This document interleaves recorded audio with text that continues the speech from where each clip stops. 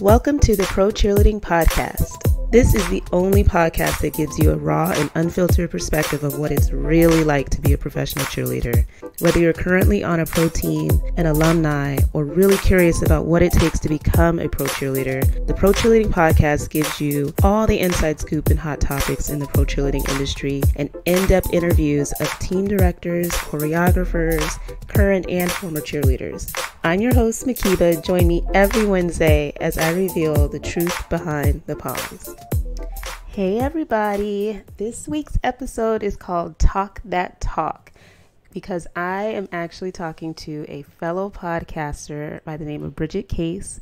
She is a former Charger girl when they were in San Diego, and she reached out on Instagram because she came across the podcast, and I, I was looking at her Instagram about her podcast, but she is a creator and host of a podcast called After Orange Slices, and it kind of covers what athletes go through from all different sports after they retire and some of the things that they struggle with, whether it's addiction or just finding themselves, career paths post their professional careers. So I thought it was a really, really cool podcast.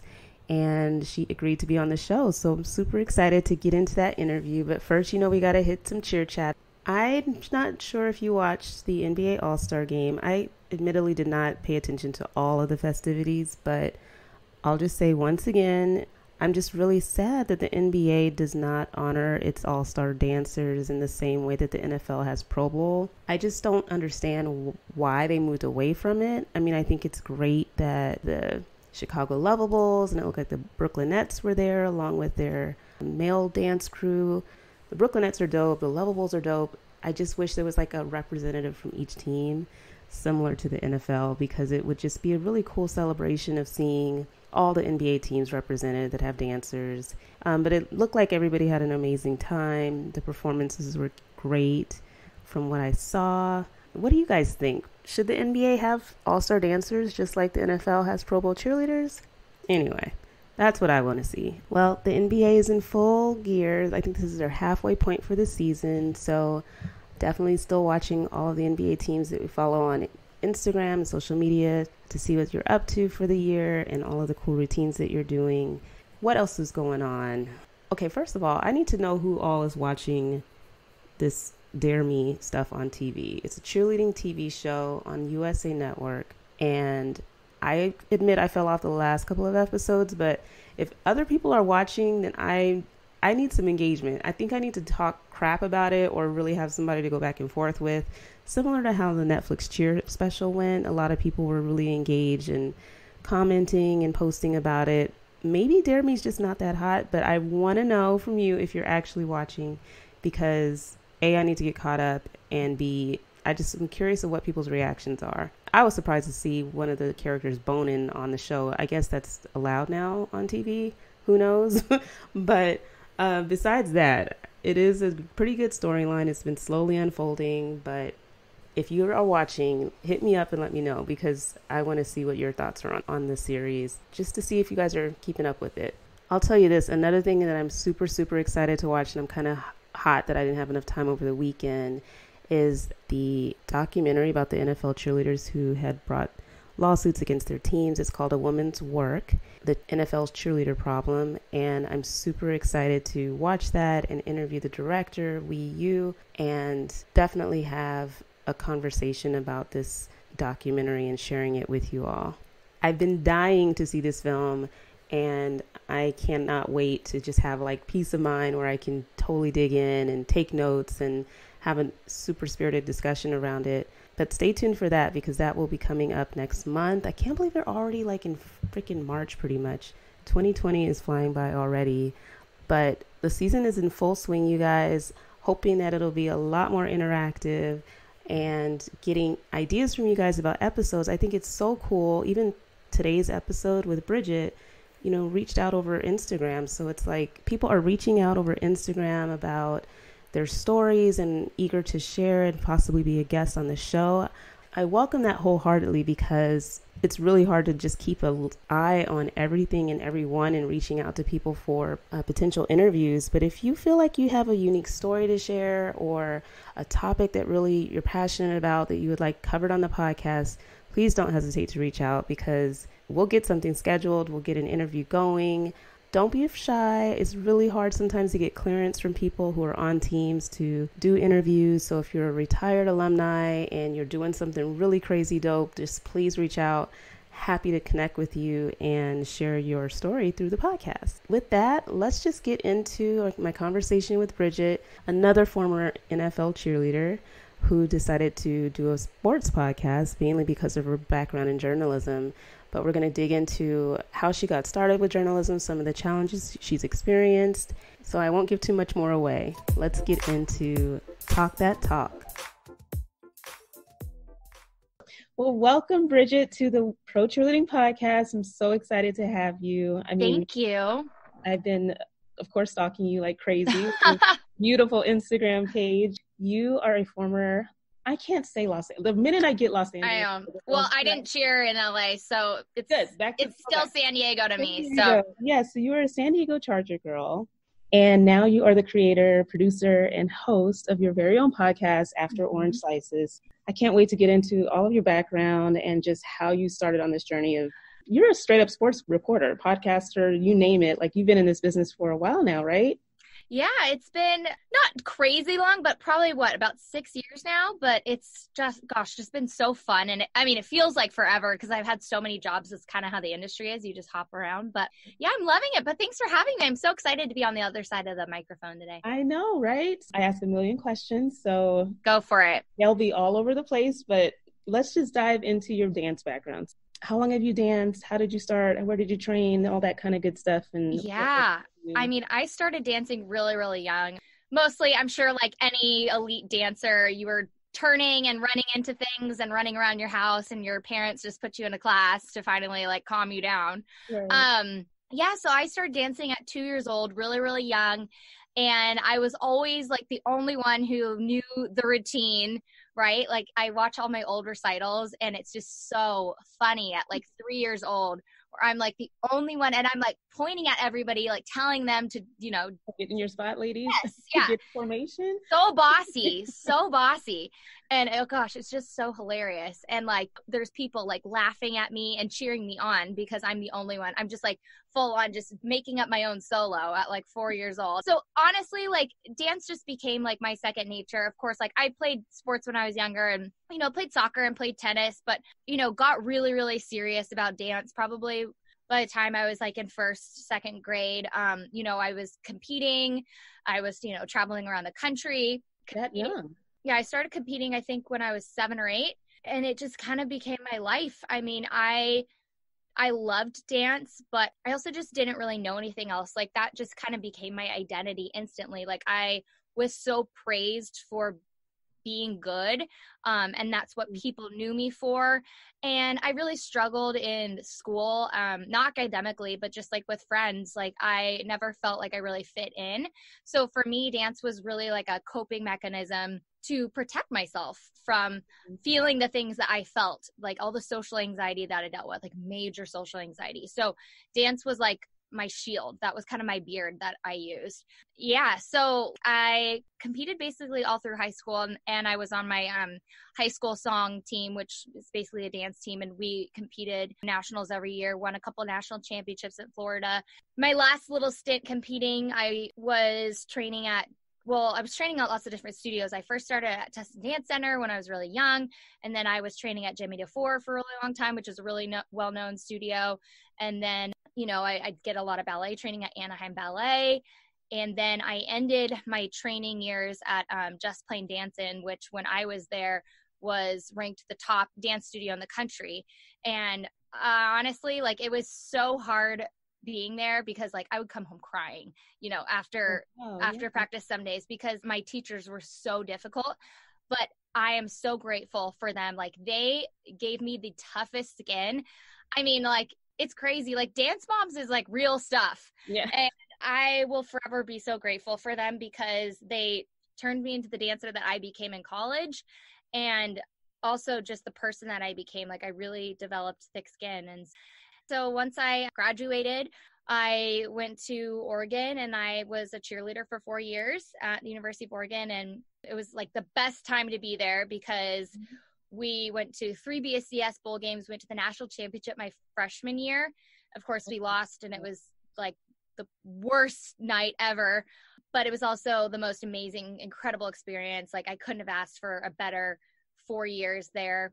Such magical times. We went to the Rose Bowl, we went to the Fiesta Bowl, and just being like the top football team in the country. Yeah, it was sure. amazing. It was just so fun. And then of course, once I graduated, then that's when I decided to go to the NFL. And that's when I decided to audition for the Chargers. And I really didn't know if I would make it. I just honestly had no clue because I saw so many girls that I grew up with dancing with who would audition for Charger Girls year after year and not make it. So, oh, yeah, so it was hard. I mean, like my captain my first year, she auditioned six times before making the team. You know, it's cutthroat, but also it was so worth it and I'm glad I did it. I cheered from 2014 to 2016 and of course there's parts of me that yes, I wish I cheered longer, but also I had major nagging back injuries and also mentally I just couldn't really do it anymore. I was burnt out. There were just like more things that I wanted to accomplish in life, especially like as a journalist, because I was starting to focus more on my journalism career. So that's when I retired. That's that's my long-winded answer to your question. I love it, but you answered so many other questions. Uh, so, were you balancing your journalism career while you were a Charger girl? Oh my gosh, it was so insane. Yes. So when I was at Oregon, I never really had time for internships, but also I will say this, I didn't fight for them hard enough. Mm. I had four to six weeks summer, not even six weeks, but we didn't have a long summer because we had to be back for getting ready for football season, right? So most internships were like 10 weeks. So I would either apply to things and people would say no, but instead I could have just used my connections and been like, hey, like I only have this much time. I'm a student athlete at Oregon. Like, could. I just, you know, come and shadow you for a bit? I was too afraid to do any of that. So I really was behind when it came to having journalism experience outside of school once I was trying to break into the field. So while I was still dancing with the Chargers, I applied to anywhere between like 40 to 80 at a time internships. Like anything. I would take anything mm-hmm. media related. And I just kept getting rejection after rejection. This was like over the course of a year. It was so bad. Finally, I decided to apply for an internship in Palm Springs at NBC Palm Springs. And that's two and a half hours away, right, from San Diego. So I just was like, I'll apply and maybe I could do like a part time thing. We'll just see what happens. But also, I had to lie and say that I was in grad school because you had to do it for class credit. So mm-hmm. I lied and said that I was going to grad school. So I get accepted at, to this internship, which is great and then they like want to see my grad school information so i'm like shoot i i gotta go apply. Gotta go apply to grad school. You're kidding. So i end up yeah so i end up applying to grad school at usc getting in and it was great because i mean like at that time i was going to school very part-time so it was manageable but also i like never slept. I barely ate. It was oh my gosh it was so bad but also best experience of my life. So I got this internship. I was only an intern for maybe like a month until they needed a production person. So then I got hired as a production specialist a month later. Then their local sports reporters slash multimedia journalist leaves to go get a new job.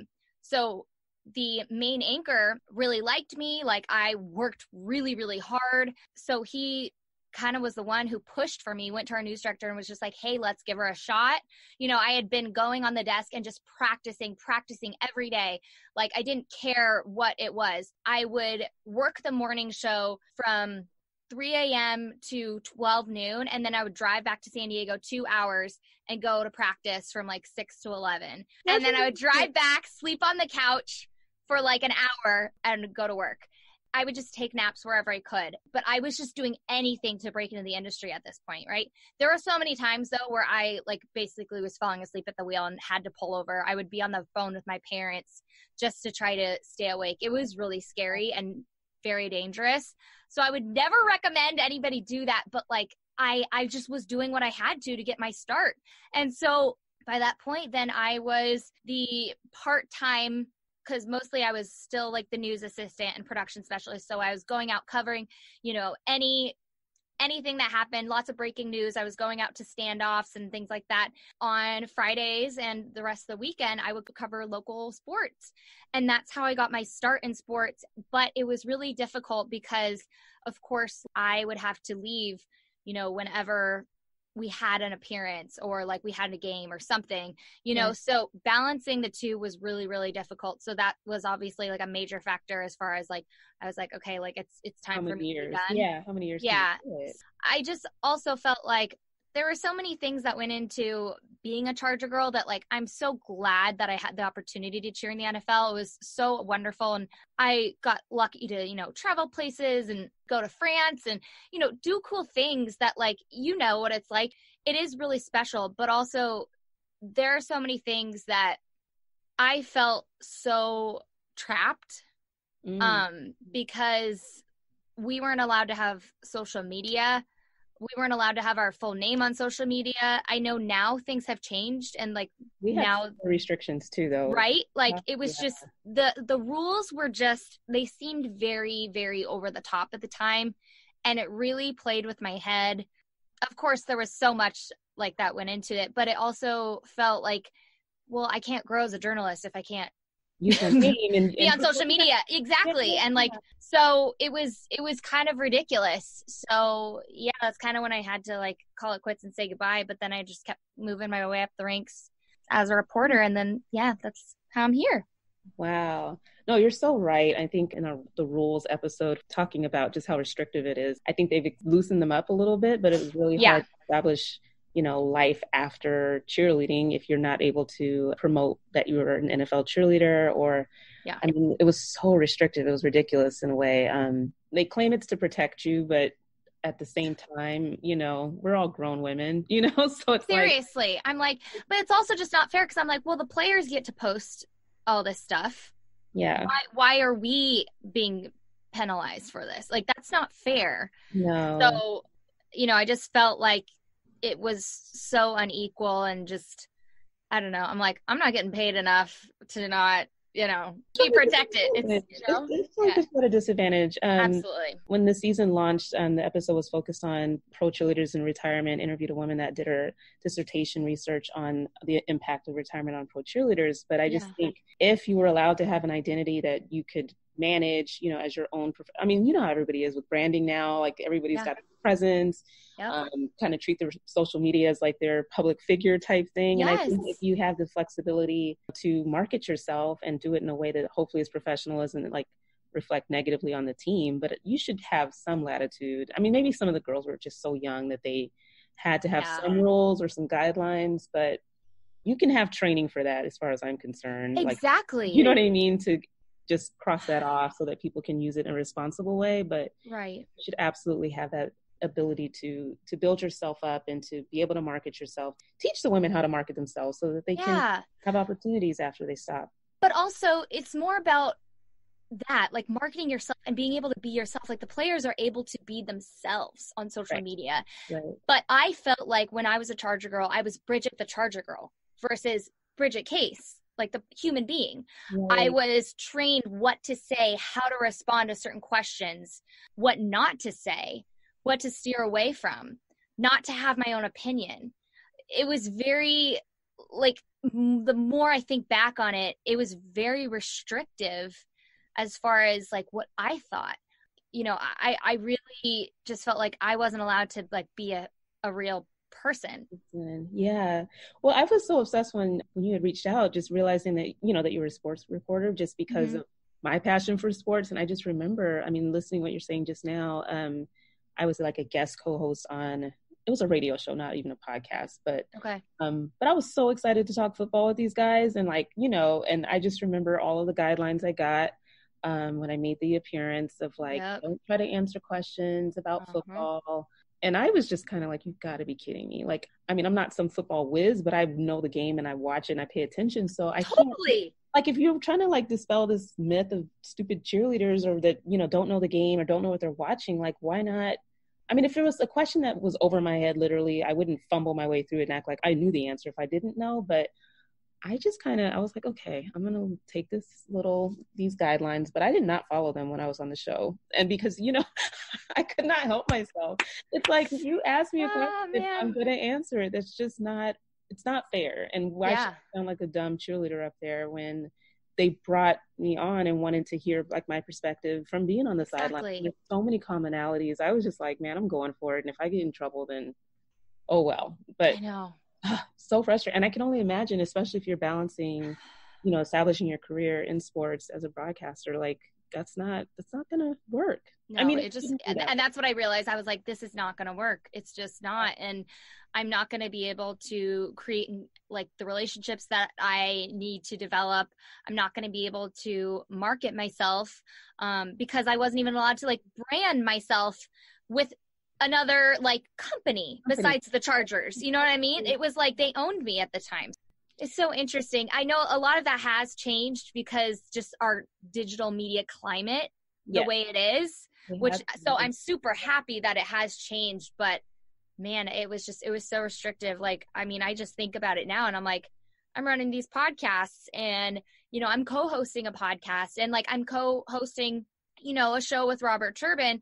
And again, like you're saying, I would usually be on a show with somebody else and not be able to talk and be honest. And we just did our first episode at Super Bowl and then we did our second one last week. And I was able to get so honest. And he was just like asking me things it was just really funny to get you know the perspectives from both of us i don't know it's just one of those things where i wish it were different and i think like it will change eventually mm-hmm. but the fact that like we're not able to be honest and speak our own minds and yet here like robert's sitting there and he's able to speak his own mind and he's still playing. Yeah. That's not fair. I mean like i'm not complaining. I love i love doing our show. It's great. But um no but it's so true. Guys were allowed to kind of say whatever. They're allowed to have their personalities. Brands are able to pick up on that. And it's yeah. not our little window of you know so-called fame is is pretty small there are teams that I think are better at allowing the, the women to kind of be themselves on social media, keep their own personal social media to promote yeah. uh, their time on a team which you know is different from having like a I don't know for the Seahawks we were called Sea Gals back in the day, but Seagal Mhkeeba. But see, that's the thing. We weren't even allowed to have like Charger Girl Bridget. We couldn't even have that. See, and we didn't for a while. they added that in, but it really yeah. wasn't always the case. So, what inspired you starting your own podcast? Well, I had left my last job, like I had told you, you know, I was working in mm-hmm. Tri Cities. I was working at the CBS station up there, and I ended my last contract, and I just felt like the offers weren't rolling in like crazy. I initially, this was about a year ago. So yeah, it was about February, March. I had a really great agent that I thought at the time. Mm-hmm. And I was told that, okay, like we're working on this deal, you know, you might be able to go to Dallas for, you know, this much. Like we were talking money, like we were really close to certain things. And then these things would just keep falling through. And I just felt like nothing seemed like the right fit as far as the smaller stations that like I could just go fall back on. Mm-hmm. And I had worked so hard in smaller markets to create myself and build myself up that I felt like I was also missing out on this digital movement that I had been missing, like basically because I was working in cable news. Of course, you still try to promote your work on social media, but you're not as active in it. I don't know how to explain it, but nobody's watching TV anymore. Everybody's just watching their like stuff on their phones. Right. I was getting paid nothing, like barely $20,000. It's a hard life. So, of course, like I don't do it for the money. That's not why. But I also felt like, okay, you know what? I'm just going to go back, move home with my parents, and just regroup, figure things out. Mm-hmm. And I was so depressed. I just felt like, you know, I've failed. Everybody hates me. Like, I'm not meant to survive in this world as a journalist. I'm just not talented and you know just all of those all of those thoughts come flooding in, right? All of those negative thoughts. And then just one day it came to me and I just realized, you know what? It's 2019. It's the day and age where we can all really create ourselves. You do not have to rely on a company. That's so, so that's exactly. So that's what I was like, I'm going to create my own podcast And the hardest part for me was that I was not on Instagram. So I had gotten off of Instagram for two and a half years just to better my mental health. Instagram was a really negative place for me. Mm-hmm. So I realized I'm like, you know what? I don't care about losing a bunch of followers. I had deleted my old Instagram and I was just like, I'm just going to start a new one just for the podcast. And that's how I'm going to promote it. And it's all going to be mental health positive. I'm only going to follow people that are fellow podcasters or are positive in my digital media environment. I barely follow any friends. It was one of those things where once I kind of created this, like, I don't know, this mentality for myself, then all of a sudden things started clicking. The podcast started just growing. I launched the podcast in August and it's just taken off. You know, I was able to go to Super Bowl and get so much done there, meet so many amazing people, and it's just been so great. And then now being able to co-host a second podcast and co-hosting That's Turbo Talk, yeah. which is fantastic. So, you know, and I fired my old agent and things have just really taken off. And I realized I'm like, you know what? I made all of this happen for myself. And I really am seeing a trend in so many people leaving the big media moguls to do more for themselves. Yeah. So, you know, I just, I realized that like I don't need to worry so much about being affiliated with a certain brand or a certain TV station to build a career for yourself. Yeah, to to yeah. determine if I'm successful or not. Absolutely. I can determine if I'm successful or not based on me trying, failing, trying, failing in this digital world. So that's kind of how it all happened. That's so exciting. And I love that your podcast focuses, like you said, on just, you know, athletes, not even helping them, but just kind of displaying that journey that they go through after they life after sports. Life yeah. After sports. And just, it's so important. And it's so ironic with uh, last week's episode, like I said, focus on yeah. post retirement.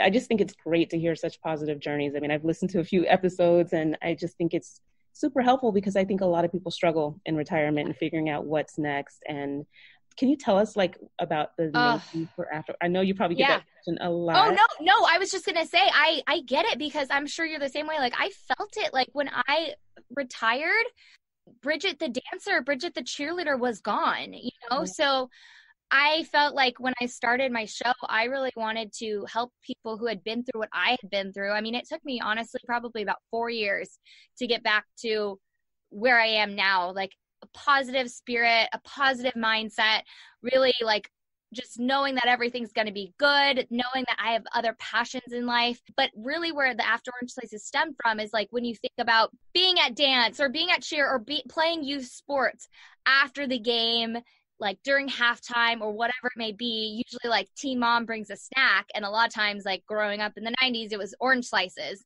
So that's kind of where it came from for me. I just thought, you know, after the game, after orange slices, you know, I struggled with my transition after NFL cheerleading, not being, you know, Bridget the dancer anymore. So if I struggled with that, like what have other people struggled with after orange slices? Afterwards, yeah. yeah what would be your advice, I guess, to people who are, you know, considering, you know, how you go to that point of questioning if it's your time to retire, whether you should audition again. I mean, we're coming mm, up on auditions. Yeah. What would you say to people who are listening that are kind of processing that or scared about kind of like after the orange slices after being in an NFL as a cheerleader? Yeah, that's a good question.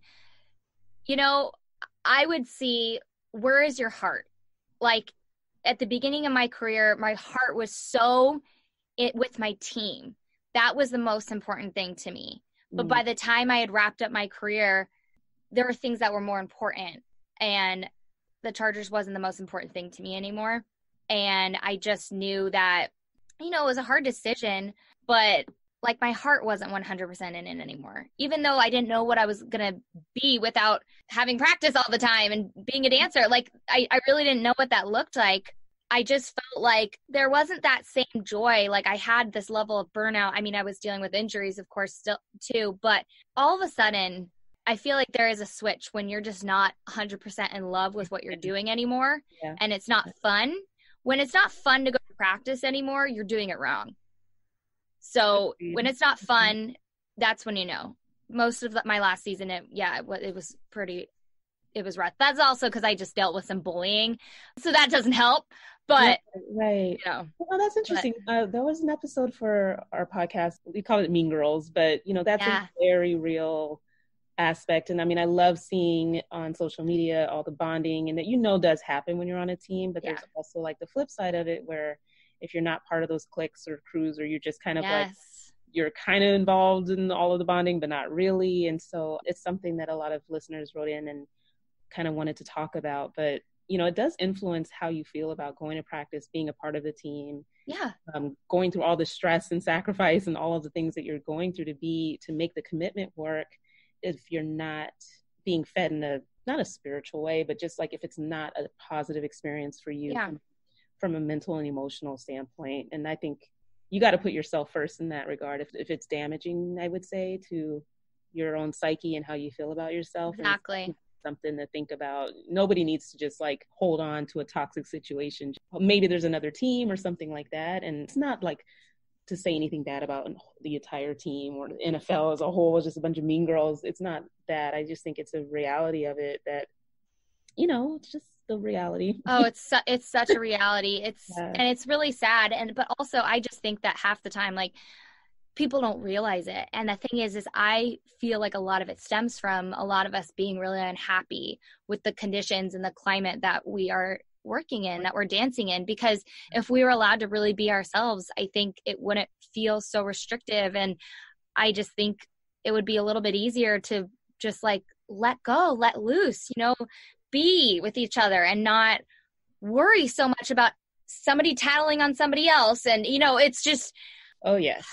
Oh yeah. you know I, I felt it especially like my earlier years on the team where uh-huh. you know once you make your dream come true and you're on this team there's this whole like vibe of you know there's an image to uphold. And it's not yes. just coming from leadership. It's coming from the vets on the team. And like there's just this whole image of what being a Seattle Seahawks cheerleader was supposed to be like. And it's, you know, when people on the team didn't feel like others were living up to it, I mean, it's all this mindset of protecting that image. But yeah, people running towards the director to tattle and just, I mean, right? kind of can go absolutely berserk. The tattling drove me insane. I was like, seriously, are we in kindergarten?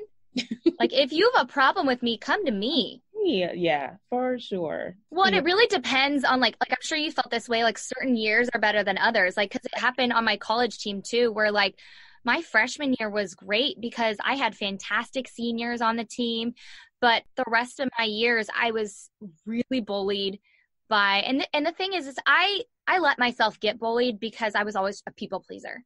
So mm-hmm. that's also why like I was in that situation because I was always trying to make anybody my friend.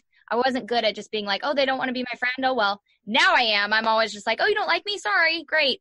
I used to bug my bullies to the point where like it would probably drove them insane, but because I just wanted them to like me so badly. Gotcha. I wanted everybody on my team to like me.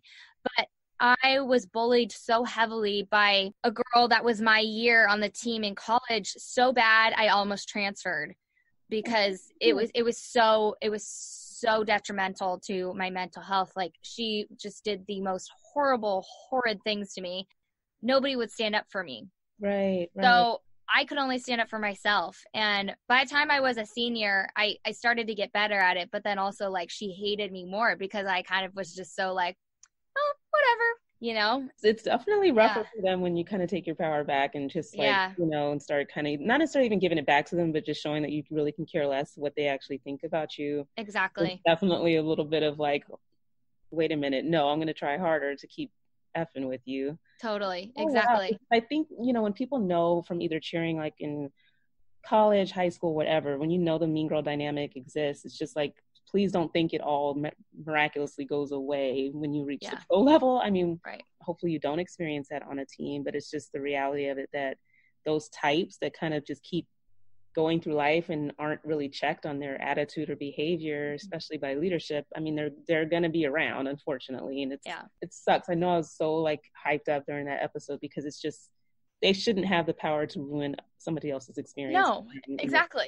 It can be like the most amazing experience ever but not if you're dealing with stuff that's you know just unfavorable in that way especially if you're at an age where it's harder to find a way to cope with it especially if they have your director's ear. It's not exactly yeah. and that's the thing that's what happened when i was with the chargers like like we were talking about earlier it was more of a clique situation. So you know some of these cliques were going you know to my coach and saying things to her but my coach loved me like my pro coach really loved me and we had a good relationship.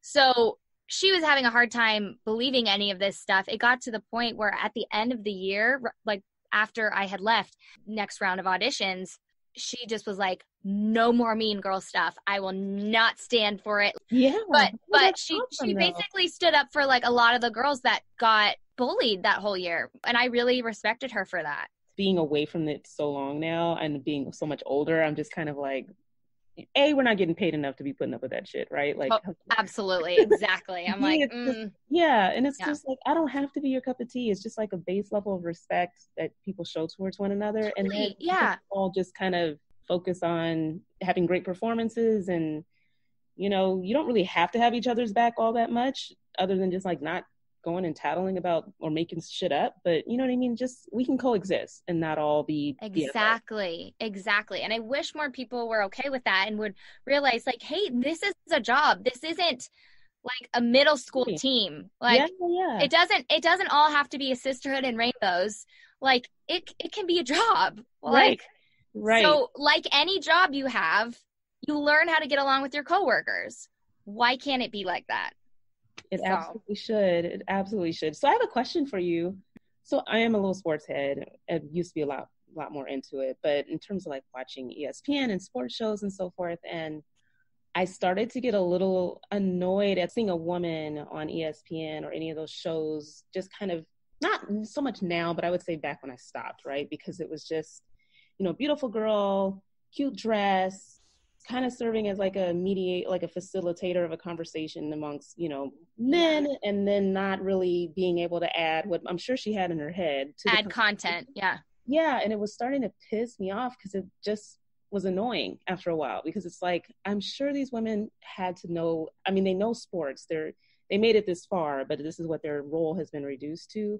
Tell me about your journey as a female sports well, Oh my gosh. Let me I know that could be like a whole other episode, but I just seriously, I mean, like I mean, my last job, I can't even tell you. Like I oh my gosh, my co-anchor that I worked with, he was just whoo, he was just a funny funny dude.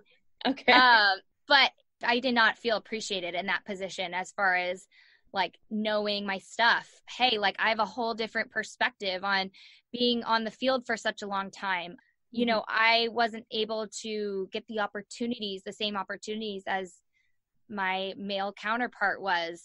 You know, it was really frustrating. And so a lot of times I would just kind of get the short end of the stick on certain content that we would go cover. Um, I wouldn't get to go cover the big events, certain games, things like that. And it just was really frustrating. And just also people assuming all the time that just because I was a pretty girl that I didn't know anything.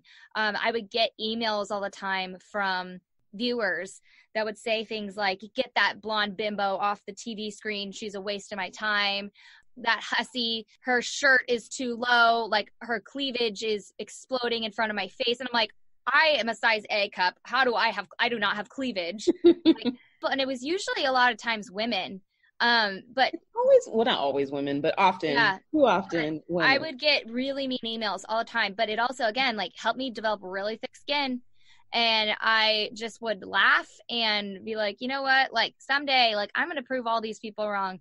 And that's what really inspired me to to start my own show was to be able to talk about what I wanted. And now I'm co-hosting another podcast with Robert Turbin, who is a Super Bowl champion and respects me enough to want me there like as his counterpart and as his producer like so that makes me feel very respected since i started my own show i've seen a huge turn in me gaining a lot more respect. I think because people have just seen that like I'm working so hard on my own. But it's definitely kept me from taking a lot of jobs that were more just like super hosty and more just about like let's go hang and let's go learn about like your favorite foods and your favorite color and things like that. Like, right, right. no, that's not just actually talking sports. Yeah, and that's not me. And the thing is, it's like there's nothing bad about it. It's just that's just not ever what I wanted to do. And I had the opportunity, I actually interviewed for a job like that about three years ago at Fox Sports West. And I thought, like, this is my in, this is going to be it. And I almost got the job and then I didn't, and my heart was broken. I'm so glad I didn't because it made me hustle.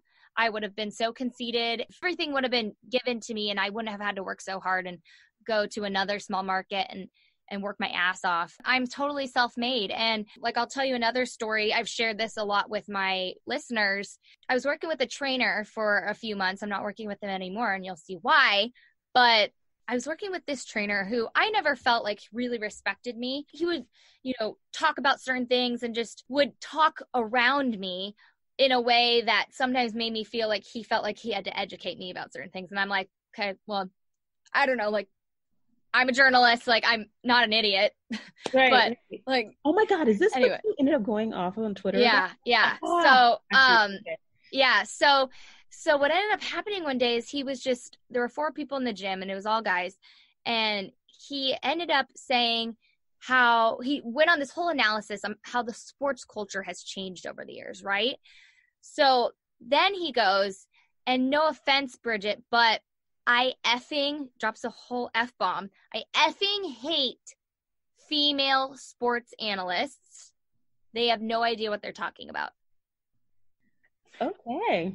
And just goes off about how women don't belong in sports and know nothing about sports. So I'm just sitting there listening to this, trying to figure out, like, ooh, do I be passive and just like let this roll over, or do I stand up for myself? And I'm like, mm-hmm. ooh, old Bridget would have just, you know, been passive. Nope. Like, Let's go, new Bridget. Birthday, Bridget. No, Bridget. I was like, uh, uh-uh. uh And no. he even tried to like put his hand on my shoulder, and I was like, like uh pulled back real fast, and he was like, ooh, ooh, like, and he was like, I'm sorry, that's just the way it is. And I was like, I just went off, and I was like, do you realize you just basically said that women don't belong in this industry, in the industry that I work in? and he was like, "Oh, I'm sorry, I hurt your feelings." And I'm like, "Oh, you, oh, you, you you didn't hurt my feelings. You just basically said you offended every single woman and said that we can't do things that men can do."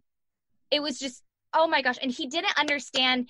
He thought that he just hurt my feelings. He didn't understand that what he said was wrong, disrespectful, and wrong. Yes, mm-hmm. but oh. the thing is, is you run across guys like that all the time, very misogynistic and just it's so interesting. But honestly, like that fueled me up more. And so again, to be like now co-hosting a show with like somebody who could have the pick of the litter makes me feel validated just knowing like I matter. Like and that's cool. And you know counts. Like seriously, like yeah. our perspective as women is is very different. And I know that there's probably a lot more in the digital space, like you said, where people are probably taking matters in their own hands. Like we're not gonna wait for you to cover things yeah. you know women's sports the way that you ought to like we're just gonna i'm sure there's podcasts that are just blowing up out there just from talking yeah. about women's sports yeah. because there's just not a lot of representation but mm-hmm. do you think like the this negative stereotypes and just like the disrespect around us not having a brain is is it worse in sports in terms of you know being a sports analyst as a woman or the stigma around being a cheerleader a professional oh that's a good question i think that's the thing is i feel like i have a double whammy yeah. So I, it's, it's both, it's bad both ways. So it's like either people think it's really cool that I cheered in the NFL, or people are like, oh, like, yeah. you know, they use that again. Like, yeah. yeah. Uh-huh. But the thing is, is like that kind of weeds out the bad ones for me. You know, it's pretty easy. And ever since I've been on my own, like initially at my last few jobs, I didn't want people to know I was a cheerleader because I wanted to make it on my own so badly. But mm. then once I started my own show, I realized, you know what? Use it. Use it to fuel your brand. But it was because I had had people who made me feel so guilty about something that I shouldn't feel guilty for. And it was just so many people that put me down for no reason and didn't want to see me succeed at these jobs, like in a man's world. But mm-hmm once I realized, I'm like, you know what? I'm going to use it. I don't care what people think. But now that I'm running my own brand, I am going to brand myself as Bridget the cheerleader, as Bridget the mental health advocate, as Bridget the journalist, as Bridget the sports fanatic. Like there are so many parts of me that people connect with. And now it's just all so positive and i feel like now i can be like truly honest and transparent and to me like that's where i've been able to find so much happiness now is because i'm able to be 100% transparent with people and i'll talk about my mental health journey i'll talk about the things i've been through i'll talk about being arrested and spending a night in jail in college like i'll talk about things that i felt so reserved from for such a long time because I had to be, whether it was because I was cheering and upholding that image for the Chargers or whether I was working at a news station and I was upholding that image as, you know, a sports anchor. Right. Now it's like I'm just Bridget. And yes, I am a sportscaster. Like I am hosting my own podcast. I'm doing all of these really exciting things, but I get to be Bridget and I don't have to apologize for it. And I'm not getting calls from people being like, you said this, blah, blah, blah on the air and you can't say that. No, like now I'm being celebrated for being me and for what I'm saying. It gives other people the courage to do the same. I get cannot tell you how many messages I get from strangers all the time. All the time who will just be like, I listened to your podcast or I saw your post and it inspired me to come out of the closet. It inspired me to like start my own business, it inspired me to go get help with my depression, certain things like that make me feel so good that to know that just I just helped one person. But right. I, I cannot believe like the response from people who have just seen transparency as something that is just so new, you know? So that's really what it is for me. Well, kudos to you. Seriously, I was so excited to see just everything that you've established in such a short time. And it has to be so freeing, seriously, to be able to do and just speak in your own voice and say what you have to say and just talk sports. Like, I just think it's dope. I really do because I know the Thanks. frustration that I would feel. And um, I think everybody that I speak sports with, like my guy friends or whoever, they, they respect what I have to say. Right. Uh, but never was that tension. But I can't imagine trying to put my thoughts and perspective out there for everyone to consume, knowing how ridiculous, you know. Totally. The, no, the exactly. But it's awesome that to be able to have your own space, create your own lane, and start your own thing. And so I'm just so happy that you shared your time with the podcast today. Oh my gosh, of course, like, anytime. it's so so cool. Every episode ends with like either just sharing some juicy locker talk stories of like funny memories or the things that stick out from your cheerleading days, or I love Drop It Like It's Hot because it's just like a bunch of random ass questions that you can answer however you okay. want. Which one do you want to do? Oh, I don't know. I and what what do you want to do? You tell me.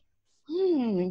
Well, since there is a question here about arrest, but isn't you know, I think drop it like it's hot. You're too fun. So, you ready? Okay. Okay. All right. Let's see here. Since it's audition season, I'll ask this one. What's the biggest lesson you learned about auditions?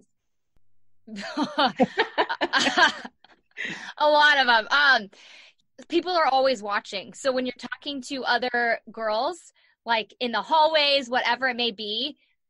Don't don't talk shit on other people and Ooh. don't say bad like don't say bad things, like nothing like you are always on. You don't know what judge is walking around in the bathroom, nothing like you don't know. Somebody's always around. So that's golden ass advice, people, mm-hmm.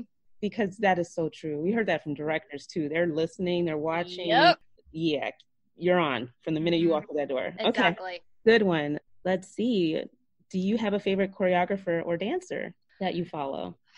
Oh, I mean, there are so many good ones now because like now social media is so fun to Right, you get to see um, the work and get the names associated with the cutest Exactly. It's it's really it's it's so amazing. There's so many fantastic ones out there now. Um because I follow quite a few um Parris, what's her name, who did the oh Super Bowl? The yummy thing? Uh, yeah. Yeah, okay. I can't think of how to say. And her. she did, yeah, and she yeah. did, yeah. I I don't know how to say her last. She's fantastic. I mm-hmm. love her. She's New from New Zealand. The thing is, is like I realize I'm like I've gotten to work with some amazing. I'm so young, and I got to work with like amazing people over the years that like all randomly just see pop up in random stuff, and I'm like, oh, I forgot I worked with them, and, and it's it's just cool. 80s or 90s dance music? 80s for sure. Okay. But, but, I'm actually like 70s is like my jam. Like I'm disco. Like ABBA is my favorite band of all time. Okay. So 70s is more of my like yeah. Your vibe. All right, I got you, got you. What personality trait has gotten you in the most trouble? uh, I'll say two. My people pleasing issue, which I've gotten better at, but also um, me not being able to shut my mouth. I'm in the same boat. Uh-huh. yeah. Um, do you have a spirit animal? Uh yeah, an alpaca. Okay, now you have to say why. I love alpacas. They are so gentle and they're docile animals. People don't know that much about them. I want to own an alpaca farm once I like buy my own house. I want to have a small alpaca farm because you don't need that much room for them.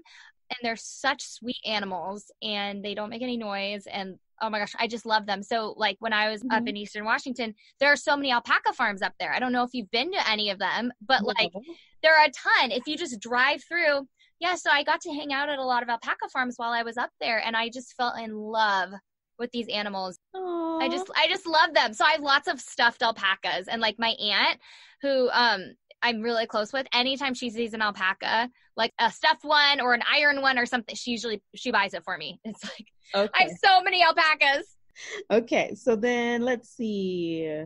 Twitter or Instagram? Just because I adore your Instagram page, but I've also you know it used to be Twitter. Twitter. It used to be Twitter, but I don't get as much traction on Twitter anymore. I think because the algorithm changed, so like I get no feed, like no one sees my tweets. so, so now Instagram.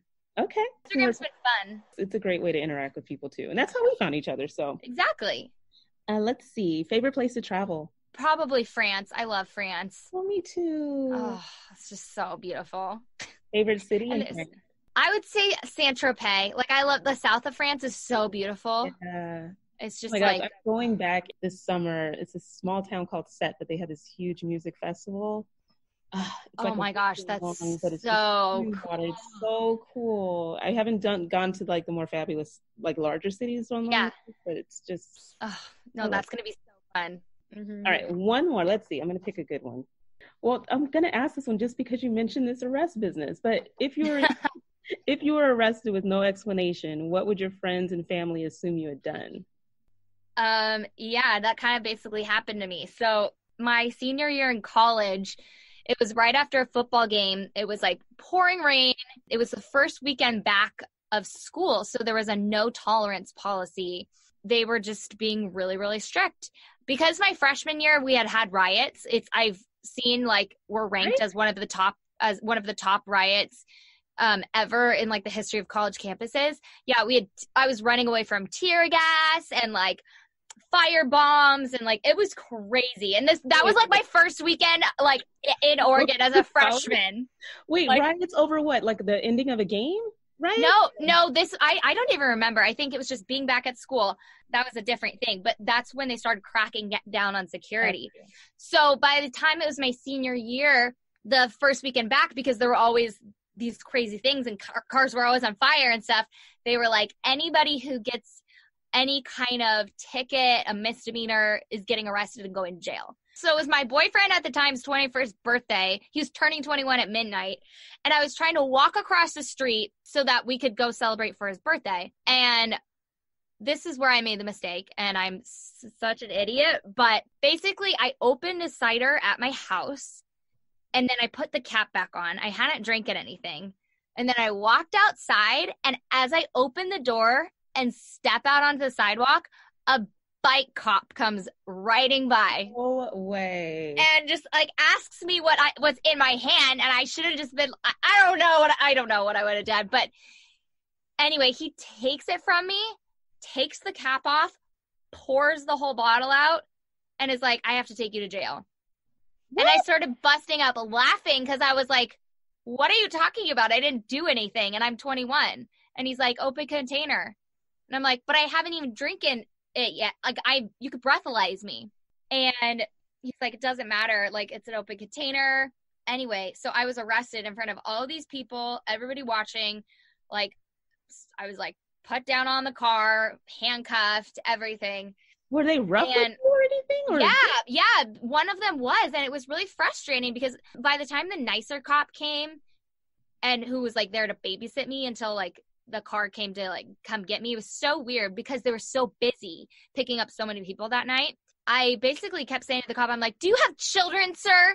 How would you feel if they made a little mistake and then you ruin their life because of it? Like, I forget what I said, but all I was thinking about was, oh my gosh, like, I'm not going to be able to cheer in the NFL like they're gonna find out like that was all i was thinking about at the time wow um, because i had known a girl who had gotten a DUI and been excused from auditions for the Cowboys.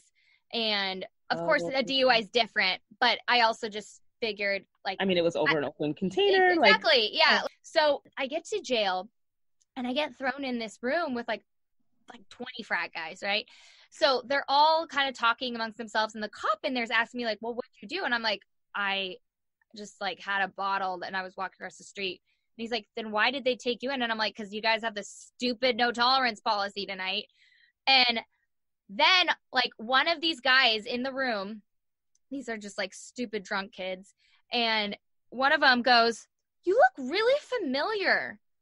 And the other one's like, "Oh yeah." He's like, "I think I've seen you." And he's like, I have a poster of you on my wall. And the other one goes, Yeah, I saw you at the game today. You're that cheerleader. And just screaming it for like the whole jail oh to hear. And I'm just like, Thank you so much. so anyway, so then I get like put in this room, this cell with a heroin addict who's like wigging out. And I felt so bad. She was so cold that she asked me if I had my period. And I said no, because all we had was a toilet and some pads and like a TV that didn't work. So she took the pads and started sticking them all over her body because she was so cold because I think she was like detoxing or I oh, mean or, or withdrawal withdrawal whatever. You know, it was so sad and she's asking me like what happened and then and I'm like, "Oh, like I'm trying to be nice and ask her." And she's like, "Oh, you know, I just was trying to go back and get my kid from my mom who stole him from me even though like it sounds like she's not even the guardian of her own child anymore. You know what I mean? It was like right, right, all these things. And and I so I tried to burn her house down and but I was gonna go shoot up my, with my boyfriend because I'm upset. And she's like, "What'd you do?" And I'm like, "I just was trying to go out for my boyfriend's birthday, and I had an open bottle." oh my gosh! And she's and she was just like, "Oh my gosh, I'm so sorry." I'm like, why is she being so nice to me? Like she probably thinks I'm such a wuss. But luckily my parents were in town, so my parents had to come and pick me up. My dad let the sheriff have it. Oh like, oh my gosh. Went off on him. And my dad is the most quiet, peaceable guy ever. So it was really bad. And then finally, like we got it expunged, so it's not on my record anymore. And we Good. fought it. Like, so, oh my gosh! But I had to still, I had to fly up and back while once I made chargers I had to fly up and back to do alcohol awareness and drug classes. It was ah. ridiculous. Oh yeah, it was God. so insane. On top of everything so else that you were yeah, going through. so nuts. Crazy. So yeah, so it was pretty crazy. But honestly, I'm so glad it happened. It gave me a huge appreciation for just what people go through. You know, I've never been in prison, but something I really want to work on is prison reform because I know that there are so many people wrongly incarcerated yeah. every single day. And I think it's a huge problem in America. And it's something that like I'm super passionate about fixing. And I think it kind of stemmed from that. You know, I've never been in real prison, but just for my little like naive personality, just being in jail for one night gave me enough to be like, hey, like real yeah. stuff goes on in this world and, you know, we need to fix it. So Definitely crazy. Well, I yeah. seriously cannot thank you enough, Bridget. This has been such a fun conversation. I know. It's been and so great. Thank you for having me. Of course. And I will definitely be providing the links to your podcast for people to check out. Yes, because I have two podcasts now. So I know, clearly. This is awesome. Yeah. You're going to stay very, very busy, but you've interviewed some really cool people and can't wait to see what's on the new podcast as well. Yeah, yeah. Um, yeah. You are pretty dope. Thank you so oh, much. Oh, thank you. Oh my gosh. No, of course, anytime. And I can't wait to eventually have you on my After Orange Slices podcast. It will be oh, so awesome. Gosh. So it will I, be very weird to be yeah. on the other side. Oh my gosh. It's fun. It's it's definitely fun. Thank you so much. Thanks so much for listening to the Pro Cheerleading Podcast. You can follow your favorite podcast on social media at Pro Cheerleading Podcast on Instagram, at Pro Cheer Podcast on Twitter, we're on Facebook on YouTube, and you can support your favorite podcast on Patreon. Until next time, keep your eyes on the sidelines.